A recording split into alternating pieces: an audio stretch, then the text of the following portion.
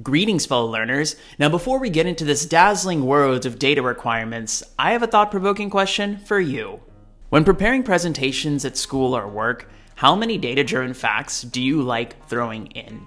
Now, for example, in work, I prepare small presentations to motivate why we should do Project X. And when preparing my conjecture, I add little single facts that pull a lot of weight. And for example, the facts should be big picture and hence easy to understand, and they should also act as a motivator and a conversation starter. So, for example, we could make a statement like, We are losing 7% of value per order, dot, dot, dot, and so we propose Project X to mitigate this. So, turning the question over to you, how would you prepare for these presentations? Now, please comment down below, and I would love to know your thoughts. Now, this video is going to be divided into three passes, where in the first pass, we're just going to go through an overview. The second pass is more details and model comparisons, and the third pass is code. So let's get to it. How much training data does a neural network need? Now, this depends on multiple factors.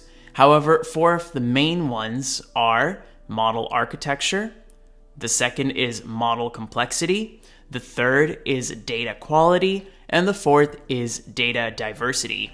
So let's talk about each. So the first factor is model architecture complexity. Now, this is a feed forward network that has parameters that need to be learned. If we increase the number of layers, we can increase the number of parameters that need to be learned. And this means that we need more data for training, generally speaking.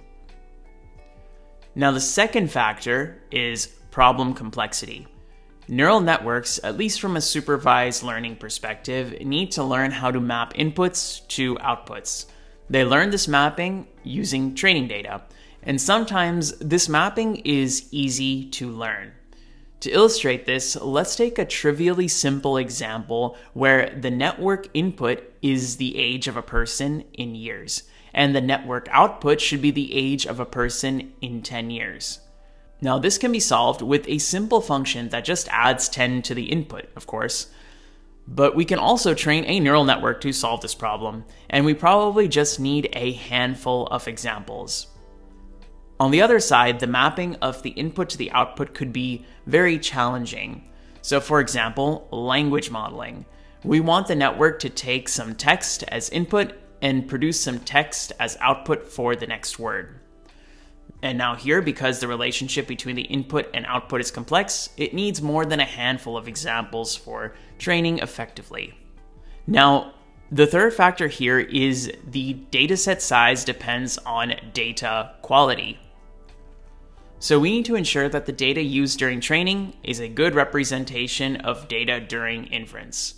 So if we feed the model clean and crisp pictures during training, during inference the model is exposed to not so clean and crisp data, then its performance will be low even with lots of training data. Now the fourth factor is data diversity. So say that we train a network that can take in images and classify them as cat, dog, or monkey. Now, a dataset with 1,500 cats and 1,500 dogs and zero monkeys might have a performance of 60%. But a dataset with 1,000 cats, 1,000 dogs, and 1,000 monkeys may have a performance of, say, 90%. So even though the dataset size is the same in both cases, the second case is more diverse than the first, and hence is able to generalize and perform better. Now, there are many more factors that determine the size of the dataset required, but these are among the top four. Have you been paying attention? Let's quiz you to find out. Which of these alterations to a neural network is likely going to decrease the amount of training data required? A. Increasing the number of layers. B. Increasing the number of dimensions of the input. C. Decreasing the number of layers. Or D. Decreasing the dimensions of the input. Note that more than one option could be correct, so comment your answer down below and let's have a discussion. And if you think I deserve it at this point, please do consider giving this video a like because it will help me out a lot. Now that's going to do it for quiz time for now and past one of the explanation. But keep paying attention because I will be back to quiz you. Now, one way to determine how much data that you need for your problem is to research similar models and similar problems. So let's take a look at some models outlining some factors that we described in past one. And let's start with a computer vision model, LeNet 5. So this model, it's a convolution neural network with the convolution activation and pooling layers. Now the problem that it is trying to solve is digit recognition, where the input is a handwritten digit and the output is a 10 class classification, digits 0 through 9. Now the number of parameters in its original form is 60,000 parameters for LeNet 5, and it was originally trained on a dataset of size 60,000 training examples. And the performance of the LeNet 5 architecture achieved an error rate of 0.95%. So that's LeNet 5. Now let's look at another architecture, which is AlexNet. So the model here is that it is a deeper convolutional neural network than LeNet.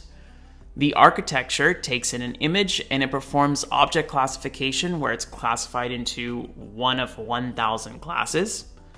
The number of parameters of this architecture is 60 million, and the dataset size is 1.2 million training examples, with 1,000 images per 1,000 classification categories and this is trained on ImageNet.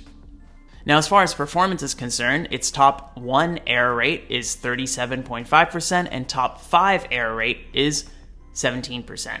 This means that if we take the top 1 prediction from the AlexNet predictions, 37.5% of the time, the true label is not in the top 1. But if we take the top 5 predictions from AlexNet, then 17% of the time, the true label is not in the top 5. Now let's actually put LeNet 5 and AlexNet into a table for comparison purposes. And from this table, we notice a few things. From a problem complexity perspective, AlexNet is solving more of a complex problem. The number of parameters in the dataset to the dataset size, that ratio is 1 to 1 for LeNet, whereas it's close to like 20 to 1 for AlexNet.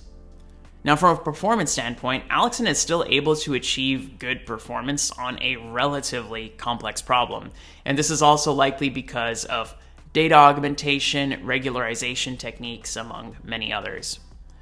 So, overall, I hope that this table shows how difficult it can be to answer the question what is the optimal number of training examples? Now, you can also observe similar comparisons for NLP models.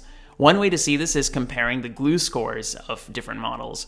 So, GLUE is a benchmark that evaluates a model on nine language understanding tasks. And each record in this table shows a model and its performance on each of these nine tasks. And their accuracies are then taken as a weighted average to create a GLUE score. Higher the score, better the model. Now, looking at these models, the problems they solve, and their performance, you can get a sense of how much data that your problem might need. It's that time of video again. Have you been paying attention? Let's quiz you to find out. Increasing the training data by twofold will increase the model performance by A, onefold, B, twofold, C, fourfold, or D, by an uncertain amount? Comment your answer down below and let's have a discussion. Now that's going to do it for quiz time for now, but keep paying attention because I will be back to quiz you.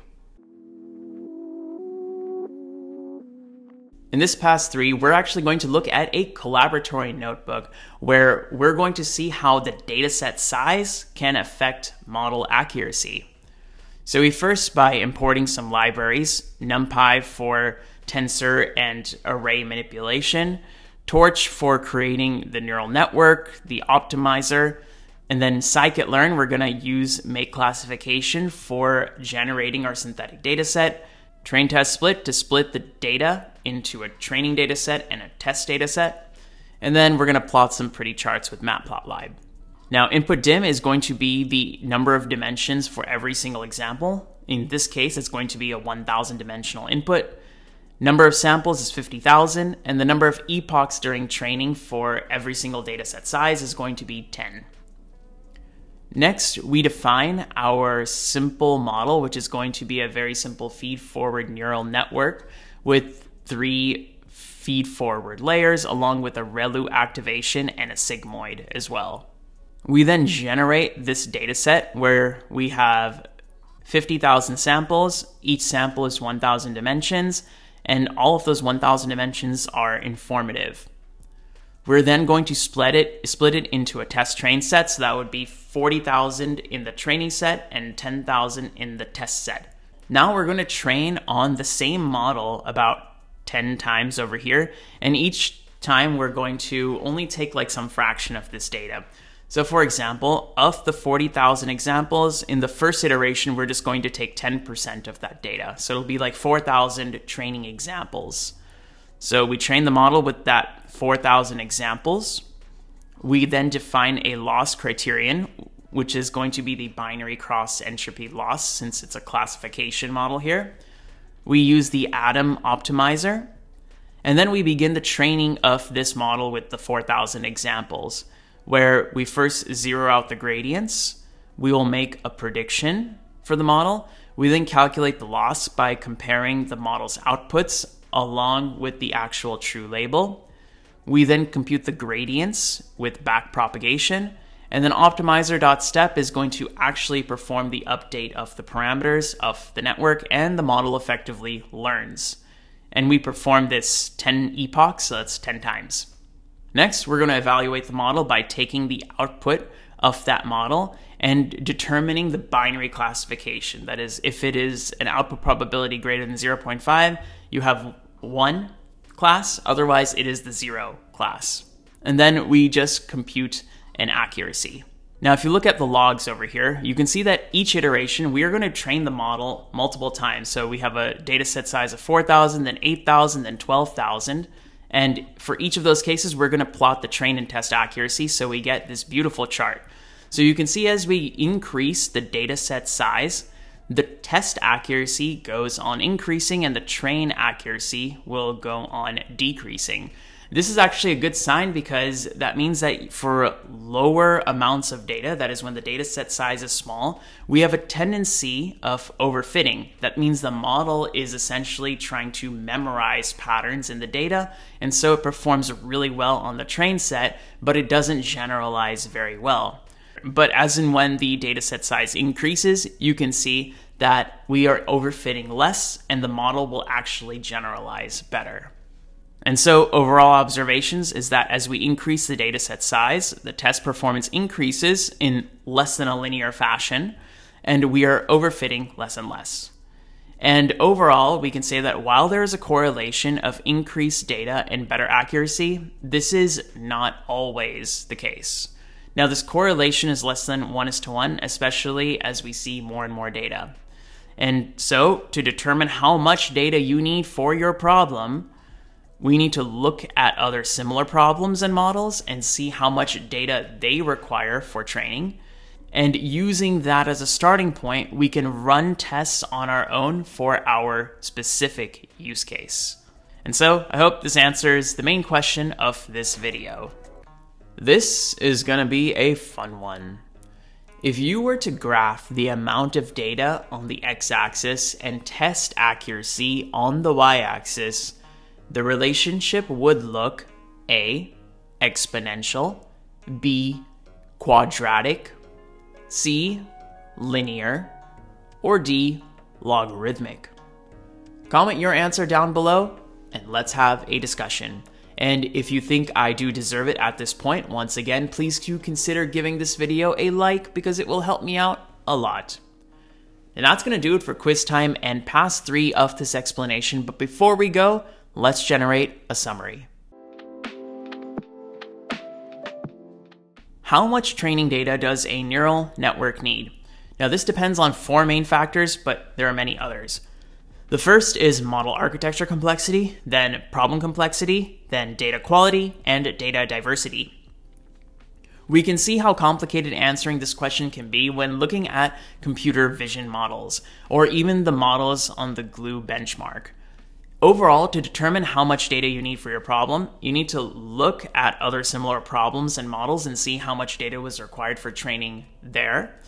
And using that as a starting point, you can run tests on your own for your specific use case. And that's all we have for today. Now, the link to the code will be in the description below, but to learn more about training large models with their data requirements, you can check out my playlist on training a transformer neural network from scratch. Thank you all so much for watching, and if you think I deserve it, please do consider giving this video a like on your way out, and I will see you all in the next one. Bye bye.